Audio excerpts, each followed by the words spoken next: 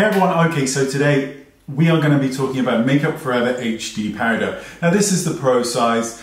Now, over a decade ago this product was released and it was one of the first powders at the time to be like nothing, like air.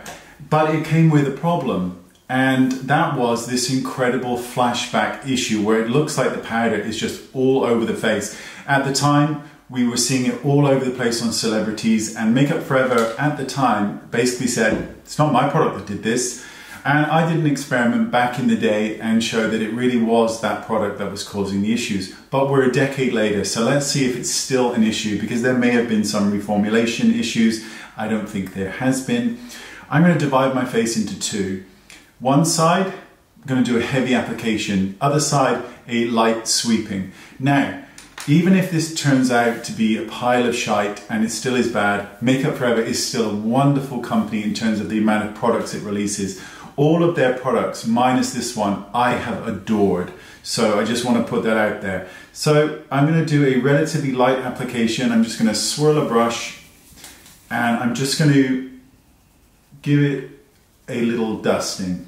Okay, so that is the dusting. Just finish that off, shall we? Now, what feels good about this product is that it feels like nothing. However, it's one of the few, one of the most problematic powders when it comes to dry skin. It hates dry skin. Now, a lot of powders hate dry skin.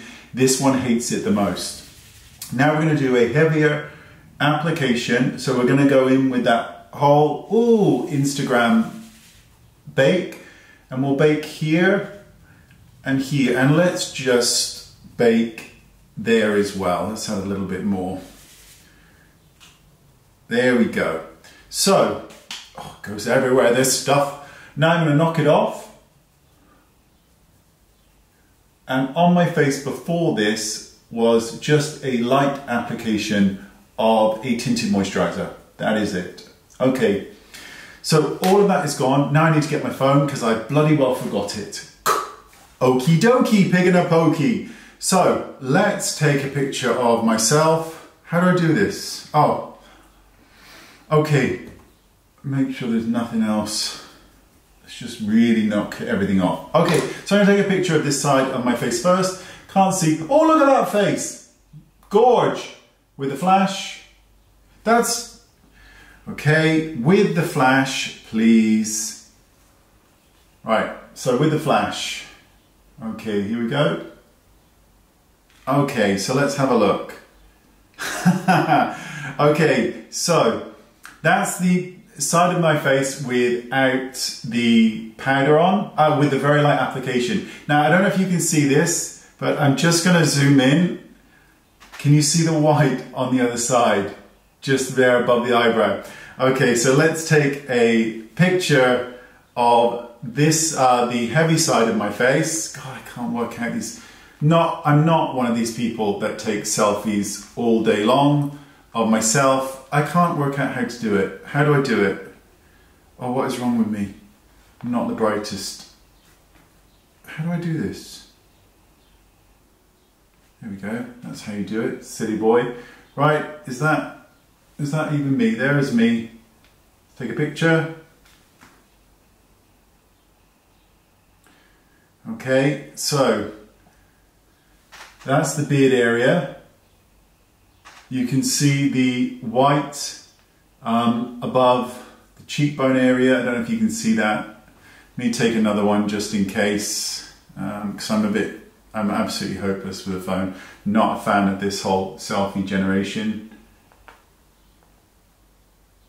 Oh, I just pushed the button to turn it off. Not a smart boy. Gossy, am I not a smart boy? Okay, let's have a look. There you go. So you can see it here. It is, you can see it in the eyebrow. You can see it underneath the eye and you can see it right there at the um, beard line. So what I'm going to do is I'm going to spritz the heavy side of my face with a setting spray and really kind of go for it just to see if that mitigates any of the problematic issues that we're facing with this product. So we'll let that just kind of sink in and then we'll try and take another picture and see where we go from it. So let's have a look.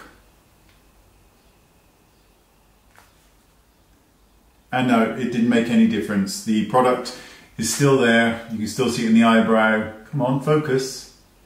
You can still see it in the eyebrow. You can still see it in the beard line. What an absolute pisser. Now, here we are, a decade later, it's still problematic. Now, to give Makeup Forever its due, Makeup Forever never stated once that this product was for photography. On my skin now, it looks like I have no powder on. That's why I love it. They never said it was photography, they said it was for film. And it did work and does work incredibly well for that. But if you are wanting to take selfies and all that kind of stuff, it's really not a good idea with this powder. But they make amazing products because Makeup Forever HD concealers, these are amazing. You get like seven mils of product in there, so it's a really good amount. They are incredible. They are absolutely incredible. But this, sadly, is a problem if you're going to take pictures. But I love the size of this, 110 grams. So what I do is I take this out, put it in a little bag, pop it somewhere else because I will use it, and then I fill this up with RCMA, and that causes no problems. Thanks for watching. See you all soon. Bye bye.